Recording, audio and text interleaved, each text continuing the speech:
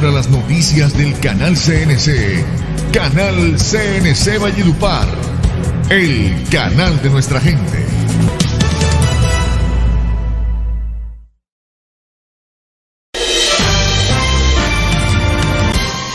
En firme quedaría la orden de captura librada en septiembre pasado en contra del alcalde de Curumaní, Henry Chacón, luego de que fuera negado el recurso de habeas corpus interpuesto por la defensa del mandatario y que en primera medida había sido admitido. Chacón es procesado por el homicidio de una concejal de Curumaní, hechos ocurridos el 26 de noviembre de 2003.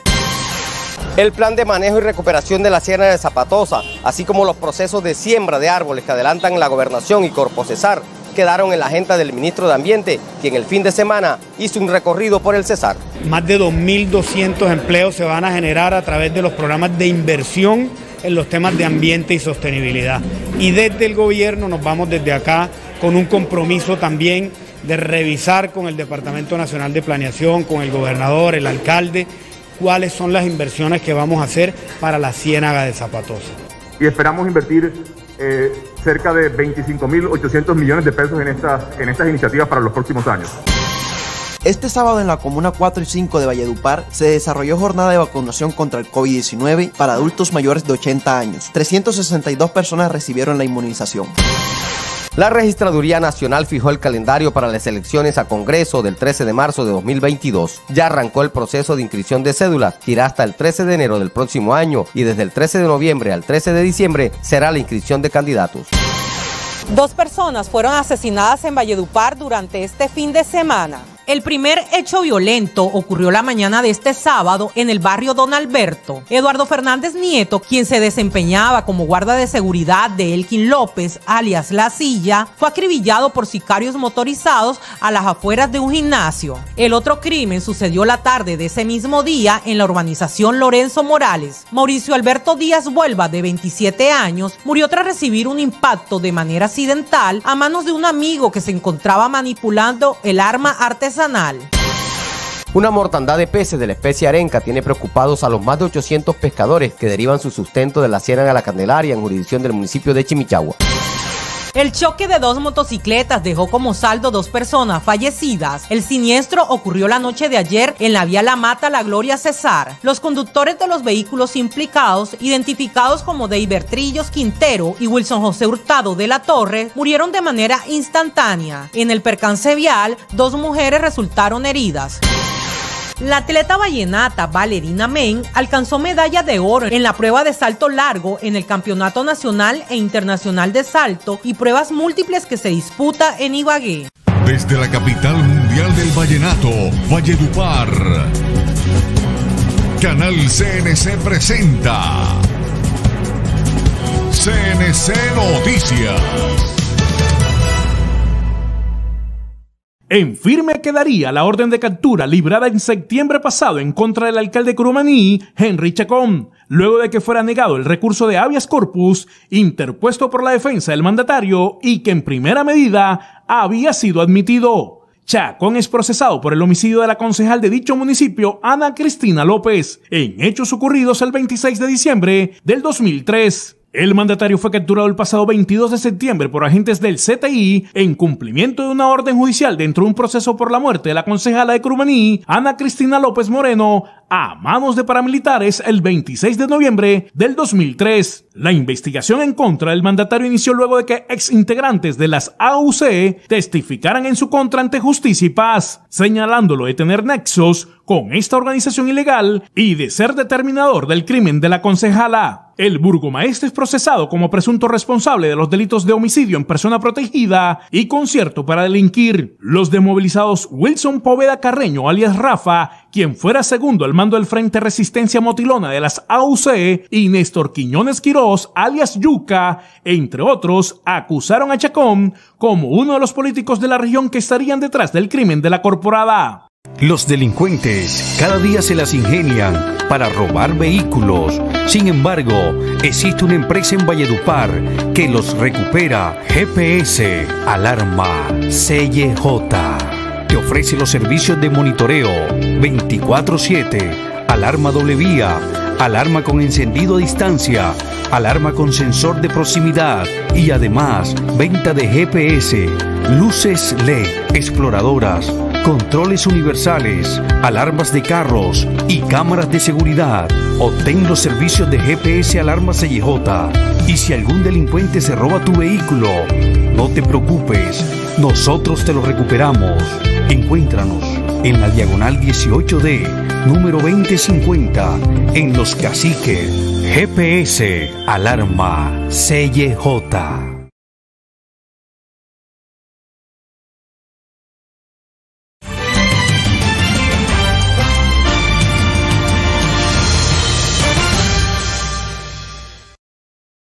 Una inversión de 19.920 millones de pesos provenientes de las regalías para el componente ambiental se contempla en el proyecto para la recuperación y protección de la Ciénaga Zapatosa que fue presentado por el gobernador del Cesar, Luis Alberto Monsalvo, al ministro de Ambiente Carlos Correa a fin de garantizar la inversión en repoblamiento de peces, destaponamiento de caños, agroreforestación, manejo de basuras y aguas residuales y generación de empleo. Y me voy feliz porque la naturaleza aquí juega un papel muy importante en el desarrollo sostenible, pero también en lo social y en lo económico. Más de 2.200 empleos se van a generar a través de los programas de inversión en los temas de ambiente y sostenibilidad.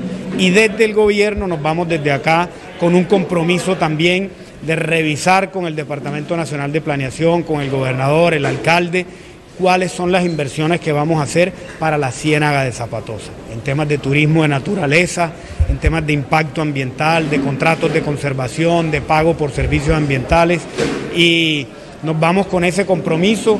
Hoy estamos aquí haciendo presencia, vamos a regresar y volver a, a, trabajar con las comunidades de la mano. El ministro Correa cumplió una gira el fin de semana en el departamento del Cesar para la cual estuvo acompañado por el director del Departamento Nacional de Planeación, Luis Alberto Rodríguez, y la jefe de gabinete de Presidencia de la República, María Paula Correa. Eh, queremos este, compartir con ustedes este plan integral que es, creería yo, como el primer plan integral de desarrollo por un centro poblado del departamento. Es un, es un modelo que hasta ahora no, no, no tenemos muchas experiencias de un desarrollo integral como el que estamos viendo el día de hoy que espera trabajar en, la educación, pero también va a trabajar en la salud, en el agua y el saneamiento básico, en la vivienda, en los espacios urbanos, en la productividad y en los pavimentos.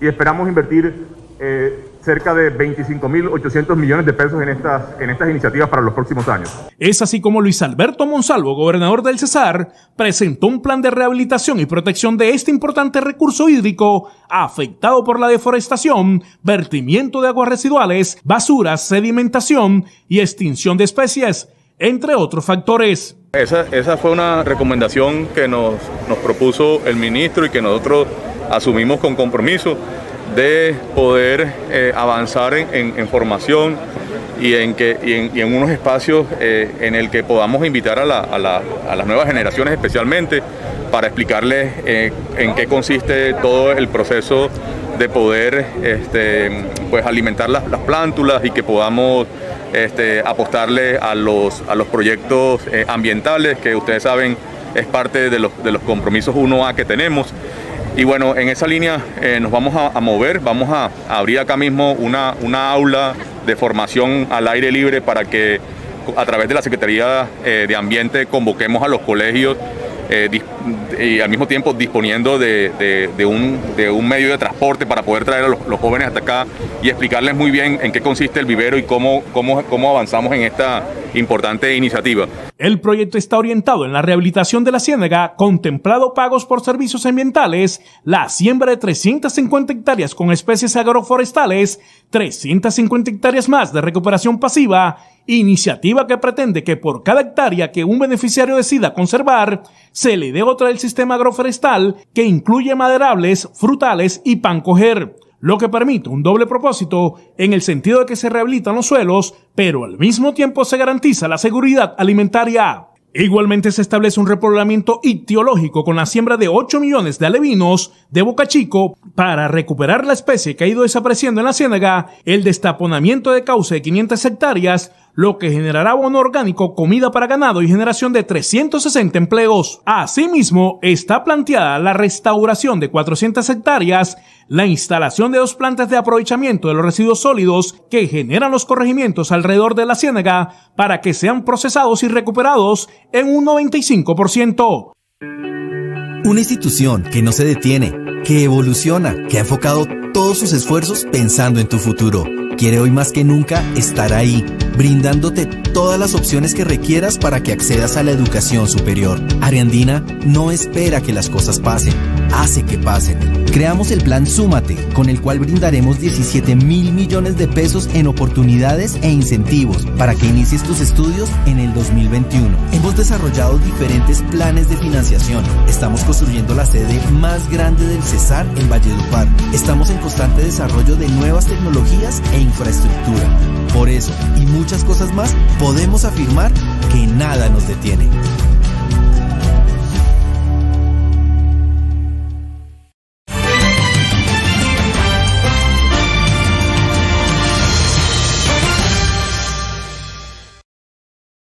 El ministro del Interior Daniel Palacio designó al abogado cesarense Carlos Alberto Barriga Almenares como nuevo coordinador nacional del Plan de Acción Oportuna PAO Social dependencia adscrita al Ministerio del Interior y que se encarga del programa de prevención y protección individual y colectiva de los derechos a la vida, la libertad, la integridad y la seguridad de defensores de derechos humanos, líderes sociales, comunales y periodistas. La Fiscalía General de la Nación, la Procuraduría General de la Nación, la Defensoría del Pueblo, el Alto Comisionado para la Paz, el Consejero Presidencial para Derechos Humanos, el Consejero Presidencial para Seguridad, tendrán el carácter de invitados permanentes. Barriga Almenares tendrá la responsabilidad de articular, orientar y coordinar los diferentes programas sociales de protección y recursos en distintas entidades del gobierno, involucradas en las alertas tempranas, prevención, protección individual y colectiva de los defensores de los derechos humanos en Colombia. Barriga es abogado, diplomado en contratación estatal, administración carcelaria y penitenciaria,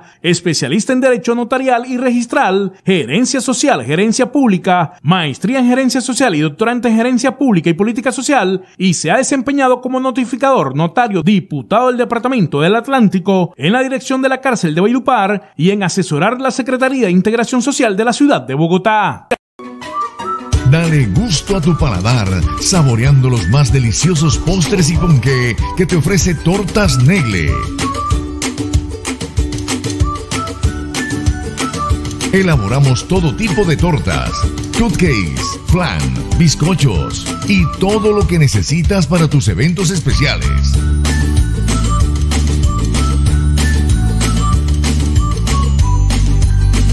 Ven y disfruta nuestro café de origen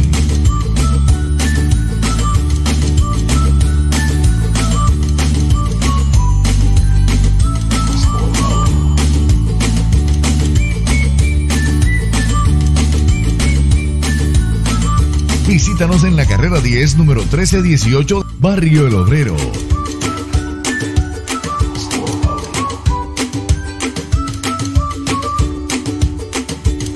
Para tus pedidos, llámanos al 314-310-1414 y 588-8639.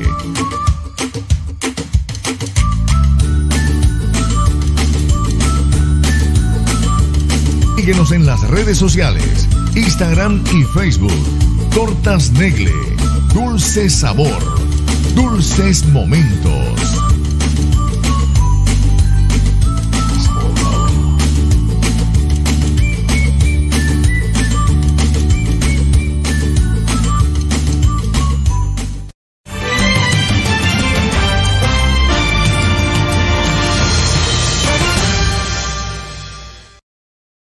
Se inició la primera jornada de vacunación contra el COVID-19 en Valledupar. La actividad se llevó a cabo este sábado en la Comuna 4 y 5 en coordinación con el Hospital Eduardo Redondo Daza y las EPS a las que se encuentran afiliados los adultos mayores de 80 años que fueron inmunizados en las primeras dosis. Hoy ha sido una jornada exitosa que nos ha permitido mediante agendamientos y organización la posibilidad de que el adulto mayor de 80 años llegue fácilmente al biológico, que es el que va a asegurar su bienestar en salud.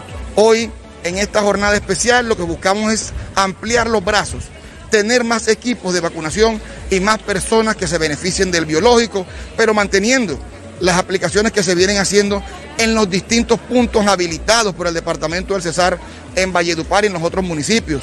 Tienen IPS habilitadas para vacunación y así poder empezar a tener muchas más dosis aplicadas en el día a día. La jornada tuvo como puntos de vacunación las instituciones educativas Técnica La Esperanza y Consuelo Araujo Noguera, así como la sede del Hospital Eduardo Arredondo Daza en el barrio La Nevada, hasta donde llegaron los ancianos que fueron agendados previamente por sus entidades prestadoras de salud. Este domingo se cumplió una segunda jornada de vacunación masiva en las instituciones educativas Joaquín Ochoa Maestre de la Comuna 3. Otra estrategia que se ha venido implementando es el pico y cédula, para mejorar la forma de agendamiento y poder localizar a las personas Nueva Clínica de Santo Tomás. Brindamos la prestación de servicios de salud con los estándares más altos en calidad y eficiencia. Aquí nos dedicamos a cuidar cada detalle por el bienestar y tranquilidad de nuestros pacientes y sus familias.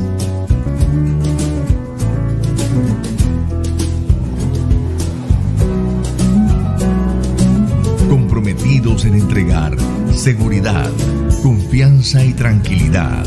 Urgencias 24 horas. Contamos con unidades de cuidados intensivos, salas de cirugía, salas de parto, hospitalización, consulta externa.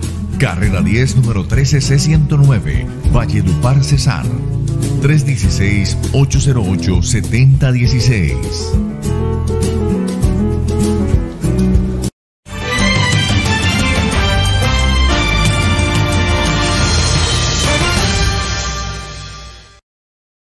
La Corporación Autónoma Regional del Cesar, Corpo Cesar, continúa apostándole a la meta nacional de sembrar 180 millones de árboles, para lo cual se fijó el compromiso con el Ministerio del Ambiente, con el objetivo de plantar más de 150 mil árboles de diferentes especies en 136 hectáreas ubicadas en la cuenca del río Majiriaín. El proyecto busca desarrollar acciones para recuperar las áreas degradadas ambientalmente en la cuenca a través del establecimiento y aislamiento de áreas, monitoreo y seguimiento de las mismas, implementación de estrategias de educación informal en las comunidades del municipio de Agustín Codazzi asentadas en la cuenca, actividades de socialización, capacitación y concientización en el manejo de los recursos naturales y seguimiento técnico. La intervención beneficiará a 117 familias localizadas en las veredas Guamal, El Milagro, La Roca, Mayusa, La Duda, Caño Frío, las cuales se caracterizan por ser pequeños propietarios de predios ubicados en el área de influencia. Serán más de 8.978 jornales para la siembra y el aislamiento de las 36 hectáreas a intervenir. Además de ello, participarán en las capacitaciones y diferentes labores del proyecto, indicó la directora encargada de Corpo Cesar, Yolanda Martínez Manjarres. La realización de este, de este proyecto nos permite restauración desde las mismas cuencas, las mismas cuencas, lleva participación de la comunidad, 117 familias beneficiadas directamente y lleva reforestación, que es el cumplimiento de unas metas de nivel nacional.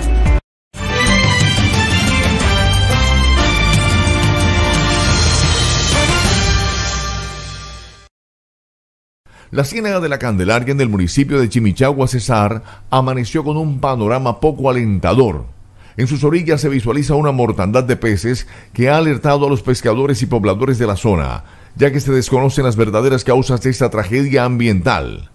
Livia Arciniegas, presidenta de la Fundación de Pescadores Artesanal y Ambientalista del Cesar, afirmó que la especie afectada es la arenca, la cual ha perdido la oxigenación en el cuerpo de agua por algunas prácticas en la zona que ha dejado estas consecuencias. Explicó que cuando los acuicultores echan la comida a las otras especies, en parte se descompone quedando en el fondo una materia orgánica que llega a ponerse verde. De allí que la arenca pierda la oxigenación y mueren. Se maneja la información que los acuicultores tienen 70 jaulas flotantes para el cultivo de otros peces y eso estaría afectando a esta especie, que es muy delicada, dijo. Este tipo de situaciones no es la primera vez que se presenta, suele ocurrir por el ciclo de fenómenos ante el inicio de invierno y de verano, según afirman los expertos. Investigarán el caso. A esta situación, Libardo Lascarro, coordinador de POMCA y Ordenamiento Territorial de Corpo Cesar, respondió que las jaulas están ubicadas por acuicultores en zonas apartadas, incluso el alimento que se les proporciona ayuda al resto de las especies. Los cultivos son estrategias del gobierno nacional de alternativas para los pescadores y por ello se mantiene un constante monitoreo en el proceso para conservar el medio ambiente y el cuerpo de agua. En la ciénaga el agua es muy alcalina y no garantiza la vida biológica de las especies. A esto se le suman la posible presencia de una alga tóxica que consumirían los peces y esto les pudo haber ocasionado la muerte o un posible maltrato por ciertos métodos de pesca. Sin embargo, se iniciará una investigación con la Autoridad Nacional de Apicultura y Pesca para determinar las causas. Avipulet de la Costa, empresa vallenata precio y calidad de nuestros productos. Pescadería fresca y al mejor precio. Cerdo de la mejor calidad en sus diferentes presentaciones. Frutos del mar. Carnes frías de la mejor calidad. Pollo fresco manaurero. Leche entera y deslactosada. Queso especial. Huevo. Y todo en carnes frías. Contáctanos a nuestras líneas y solicita tu domicilio al 318-789-9708, 574-8405 o a través de www.avipulet.com. Carrera 15, número 20B41, local I26, Interior Mercado Nuevo, Valledupar. Avipulet de la Costa.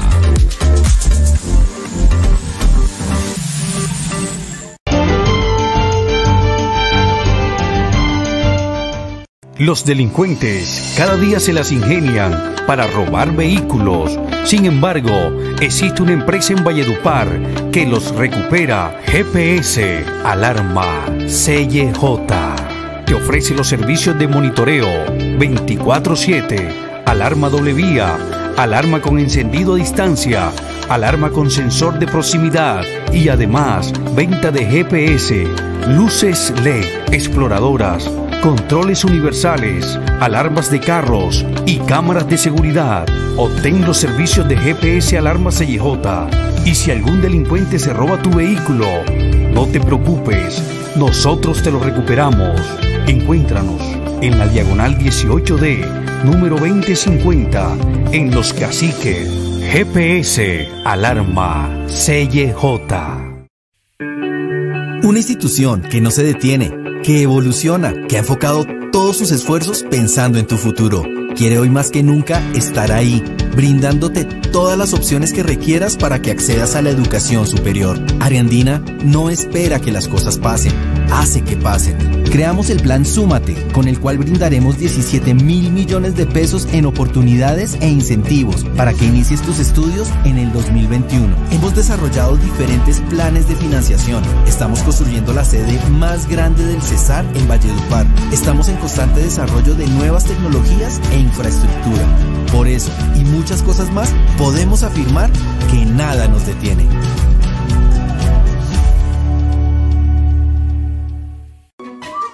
Dale gusto a tu paladar, saboreando los más deliciosos postres y ponqué que te ofrece Tortas Negle.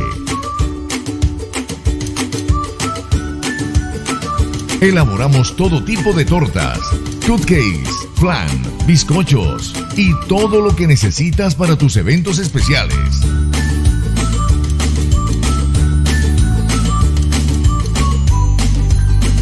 Ven y disfruta nuestro café de origen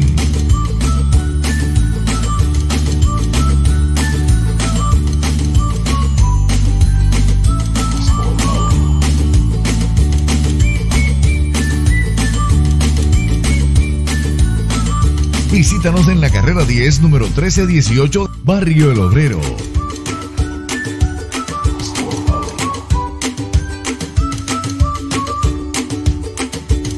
Para tus pedidos, llámanos al 314-310-1414 y 588-8639.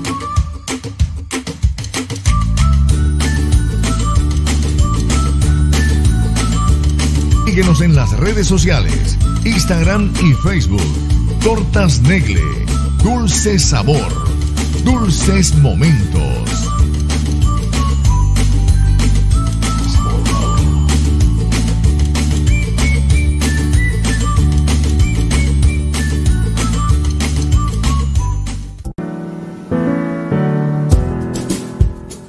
Nueva Clínica de Santo Tomás brindamos la prestación de servicios de salud con los estándares más altos en calidad y eficiencia. Aquí nos dedicamos a cuidar cada detalle por el bienestar y tranquilidad de nuestros pacientes y sus familias.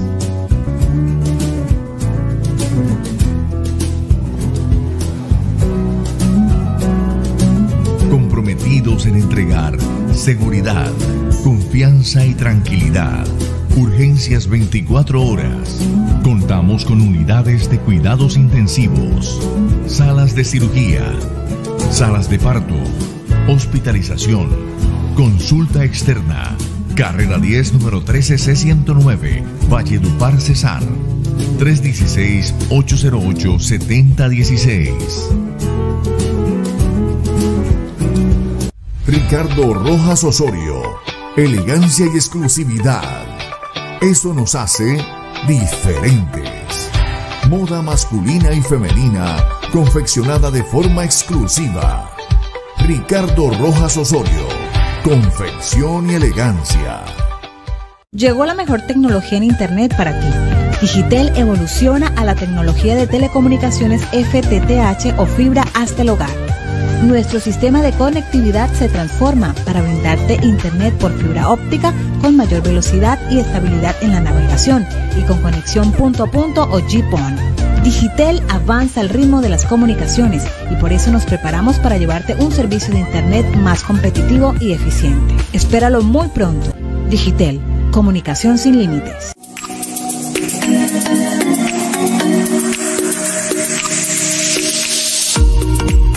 La Paz ya cuenta con un almacén, con un super almacén.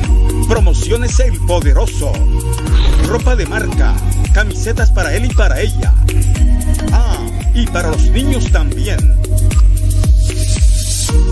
Para el amor tenemos peluches, plantas bonsai, perfumería y todo para la belleza. Promociones El Poderoso, frente al Parque de las Almohábanas, La Paz, Cesar. Distribuidora Farmacentro.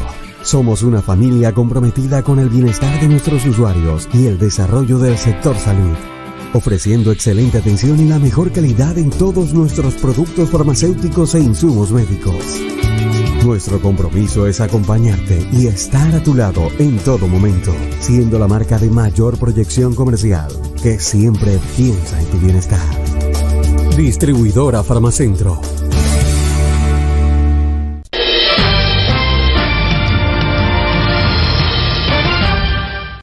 cuando llegaba a un gimnasio en el barrio Don Alberto en Valledupar, fue asesinado de varios impactos de bala el escolta Eduardo Alfonso Fernández Nieto de 39 años, en crimen que ocurrió a las 5 y 30 de la mañana de ayer, momentos en que desconocidos se le acercaron y dispararon sin mediar palabras. Investigadores judiciales acordonaron el sector para recaudar elementos materiales de prueba, hallando al menos ocho vainillas de pistola con la que le habrían disparado a Fernández Nieto, quien al parecer había llegado al sector a realizar ejercicios de en el establecimiento. Vecinos del lugar auxiliaron a la víctima subiéndola en el vagón de una camioneta en la que lo trasladaron a la sede del Hospital Eduardo Arredondo Daza en el barrio La Nevada, a donde habría llegado sin signos vitales. Las autoridades adelantan la investigación del caso a fin de esclarecer móviles y autores del homicidio que a tempranas horas causó temor entre los residentes de Don Alberto. El homicidio ocurrió a la altura de la manzana 175 del barrio donde residía Fernández y agentes del CTI de la Fiscalía ya practicaron la inspección del cadáver que fue trasladado a la morgue de medicina legal.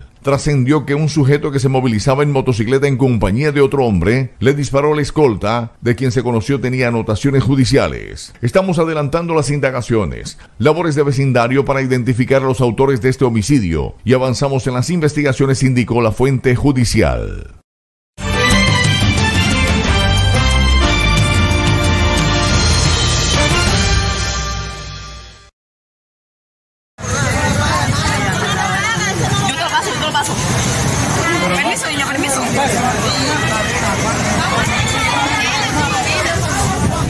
Un incendio vehicular registrado en la carrera 36 con calle 18 bis del barrio La Victoria de Valledupar está siendo investigado por las autoridades competentes, ya que el automotor Mazda estalló de manera repentina y luego se prendió en llamas. CNC Noticias Valledupar conoció que al frente del lugar donde se encontraba el automotor estacionado iba a ser inaugurada una piñatería y supuestamente al interior del vehículo transportaban una pipeta de helio. No obstante, aún no se puede determinar la causa de este incidente que dejó una persona herida. El cuerpo de bomberos de Valledupar se trasladaron hasta el lugar y sofocaron la conflagración. El vehículo quedó completamente incinerado.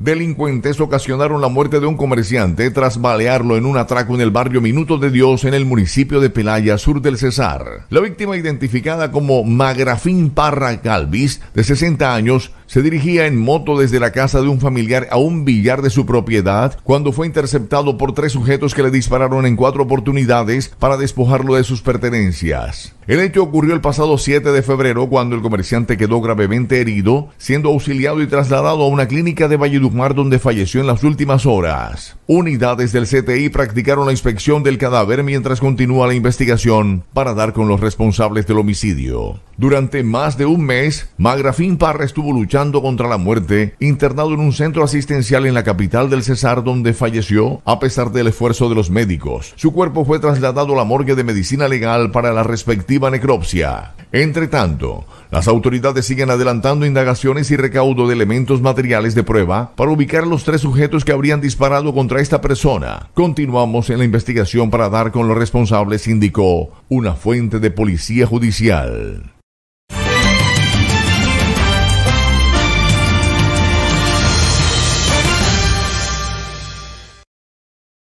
Un comerciante fue apuñalado por desconocidos en un intento de atraco en el barrio Villa Liliana en el municipio de El Copey. La víctima resultó herida en el tórax, por lo que fue trasladada a un centro asistencial. El lesionado fue identificado como Jaime Luis Pérez, de 38 años, quien es reconocido en esa localidad por atender un establecimiento de venta de pizzas manifestó a las autoridades que siendo las 9 y 15 de la noche del pasado viernes, se encontraba en el mencionado sector llevando un domicilio cuando fue interceptado por tres sujetos que lo tumbaron de la moto en que se desplazaba, tratando de despojarlo de sus pertenencias, por lo que empezó a pedir auxilio siendo apuñalado en el tórax por los desconocidos que huyeron del lugar. Las autoridades adelantan la investigación del caso a fin de dar con el paradero de los autores. Trascendió que inicialmente el comerciante fue auxiliado y llevado hasta un centro asistencial en el Copey, pero debido a la complejidad de las lesiones fue remitido a una clínica en Bosconia, de donde fue trasladado a la capital del Cesar, donde recibe asistencia médica y donde se encuentra estable. La policía realiza labores de vecindario y verifica si en el sector donde fue atacado hay cámaras de seguridad a fin de identificar a los agresores.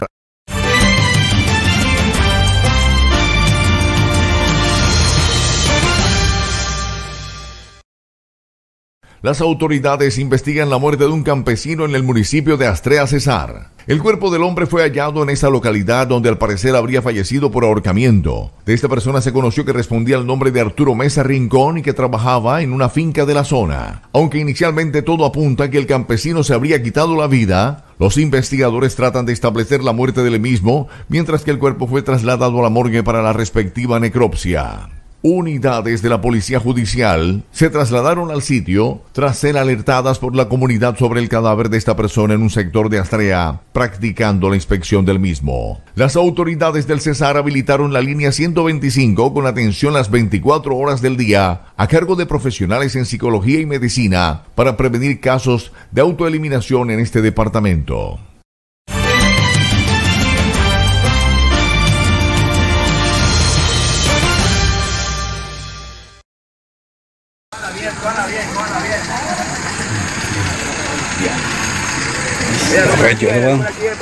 Uno, otro voto.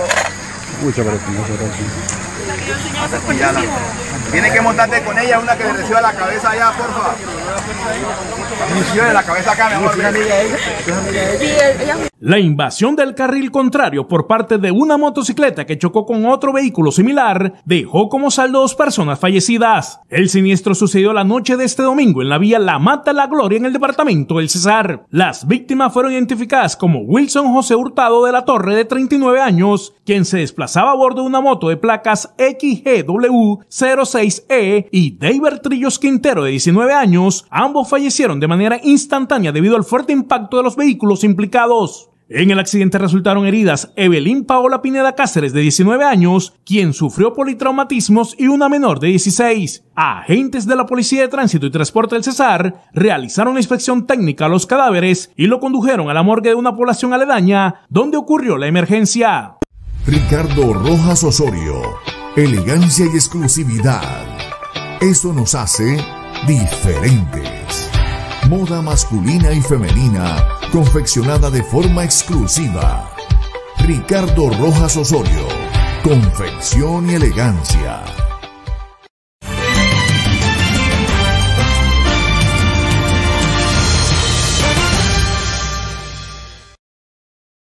A toda la comunidad codacense quiere decirles que el día de hoy fue entregada como tal las dos bicicletas que se habían hurtado hacia la vía San Ramón a sus dueños como tal. Asimismo, damos a conocer que una de estas personas que viene generando estos hechos de hurto ha sido capturada por porte ilegal de armas de fuego. Se encuentra en las instalaciones esperando la medida por parte del juez y la fiscalía como tal. Eh, seguimos generando actividades y acciones con el fin de dar con la captura. Este sujeto tenía otro compañero en el cual estamos con las investigaciones para solicitarle una orden de captura y poder dar así con todas estas personas que vienen generando a la comunidad codacense. Muchas gracias. Le damos gracias a la Policía Nacional por su apoyo, por su trabajo. Aquí agradeciéndole a la Policía Nacional que yo tuve una pérdida el día sábado de, mi cicla y ellos para qué me colaboraron, se pusieron la fila y, y me recuperaron la cicla, me están haciendo entrega de ella. Muchas gracias a la Policía Nacional.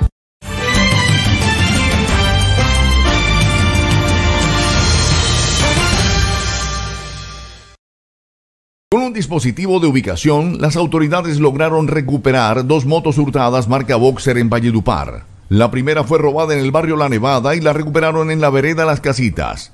Los delincuentes salieron de la ciudad y se adentraron por varias trochas para evitar los puestos de control de la Policía Nacional hasta llegar a esa población. En ese operativo fueron capturados dos sujetos y fueron judicializados por dicha acción punible. La otra moto fue hurtada en el barrio El Pupo gracias al sistema GPS Alarma 6J, que sirve para ubicar los vehículos en un tiempo real, en coordinación con el apoyo de las autoridades policiales por este caso, las autoridades capturaron a una persona. Este sistema de alarmas es recomendado por los conductores de diferentes vehículos ya que día a día cientos de motos y vehículos son hurtados en Colombia. Operadores no deben ser presionados para contratar al talento humano que atenderá a la primera infancia, dice directora del Bienestar Familiar. Así se lo recordó la directora general del Instituto Colombiano de Bienestar Familiar, ICBF, Lina Arbeláez, a los operadores seleccionados para atender a la primera infancia, reiterándoles que ninguna presión puede permear la contratación del talento humano que atenderá a los niños y a las niñas. Queremos recordarles a todos los colombianos que la atención integral de calidad a los niños y niñas entre los 0 y los 5 años en Colombia es una prioridad. Es una atención indiscutible que se tiene que prestar bajo los mejores estándares de calidad y transparencia, dado que de esa atención depende el desarrollo de nuestro país. Es por esta razón que queremos recordarles a todos los operadores que hoy tienen esa enorme responsabilidad de la atención integral a la niñez colombiana, que no pueden recibir ninguna presión para contratar al talento humano que atiende a los niños y niñas. Este servicio tiene que darse, repetimos, con los mejores, con quienes han estado formados en primera infancia, en pedagogía infantil, en nutrición, entre muchos otros aspectos. El interés máximo debe ser responderle a la niñez, atenderla y garantizarle su derecho a este desarrollo cognitivo, motor y socioemocional, advirtió la directora. La directora reiteró que el bienestar familiar ha hecho una inversión superior a los 98 mil millones de pesos en becas para la formación de las madres comunitarias transitadas a otros servicios de educación inicial.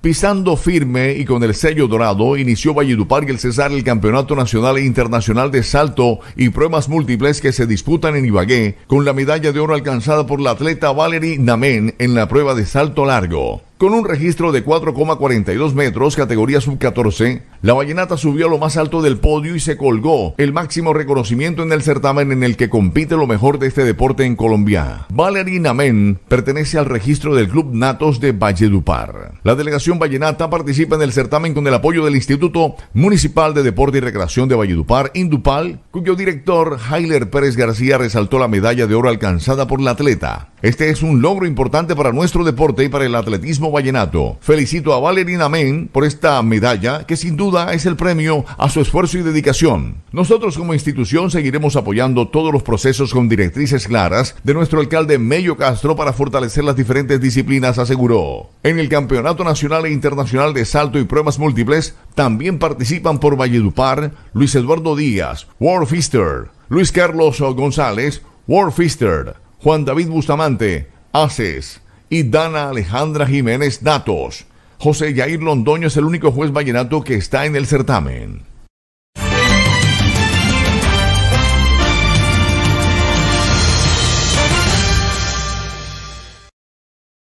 Durante la visita a Valledupar del viceministro de Fomento del Ministerio de Cultura José Ignacio Argote y la directora de Fomento Regional del MinCultura Diana Molina Carvajal, se llevó a cabo el recorrido por los murales que hacen parte del plan de embellecimiento del centro histórico y barrio Cañaguate, productos ganadores de la convocatoria realizada por la Administración Municipal a través de la Oficina de Cultura. Valledupar. Estos callejones están adornados por los murales que nacieron de la voluntad de una convocatoria pública. La invitación es a que todos vengan a conocer esta puesta en escena dentro de un área de desarrollo naranja, puntualizó Argote. Son ocho murales que estarán ubicados en el callejón de la Purrututú y las calles tradicionales del barrio Cañaguate, con el fin de engalanar y aportar a la reactivación productiva del municipio, partiendo de que se encuentran dentro de las áreas de desarrollo naranja, Confidencias y Viejo Valledupar. En el cronograma de entrega del plan de embellecimiento, se tiene previsto para las próximas semanas la entrega oficial de cuatro obras de muralismo en el interior del callejón de la Purrututú de los artistas David Santiago, Juan Ruiz, Danilo Mindiola y Yarime Lobo.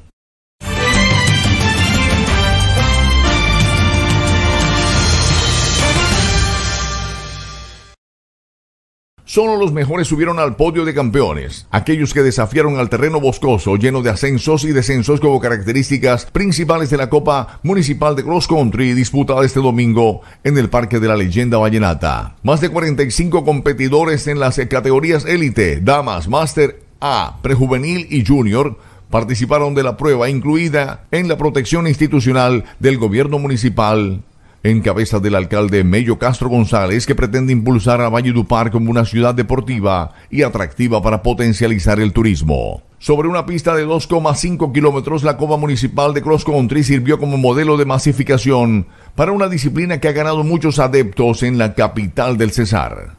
Los ganadores en élite, Carlos Pérez, Janer Río y Javier Mejía. En damas, Elida Rodelo Perdomo, Sandra Hernández. En prejuvenil, Jorge Durán, Manuel Quintero y José Parodi. En máster, Yesid Moscote, Jonathan Vanegas y Álvaro Morelli. Estamos muy satisfechos desde el gobierno municipal porque los deportistas acuden a cada una de las convocatorias de los diferentes eventos. Hoy estamos en el marco de la Copa de Core Country de Valledupar, donde va a ser la pista de los Juegos Bolivarianos. Hoy le damos inicio, e inauguración a esta pista con una distancia de 1.2 kilómetros, pero la de los Juegos va a tener distancia de 2.5 kilómetros para el próximo año 24 de junio al 5 de julio 2022. Estamos comprometidos, el alcalde en cada encuentro, evento, eh, lo ratifica, así lo estamos demostrando con la participación de nuestros atletas en la modalidad de salto largo en la ciudad de Ibagué. Estamos ratificándolo hoy y cada día en los diferentes eventos que, que se proyectan, que solicitan los deportistas, los clubes, las participaciones locales y nacionales, estamos allí respaldándolos. Vemos a los, niños, a los más pequeños, a los prejuveniles, juveniles, mayores, élites, eh, para hacer la primera convocatoria en esta prueba en su terreno, en su zona, porque no es lo mismo estar en, zona de asfalto, los circuitos que hacíamos el año anterior, eh, y vamos a desarrollar otras eh, pruebas más durante este semestre y el próximo semestre.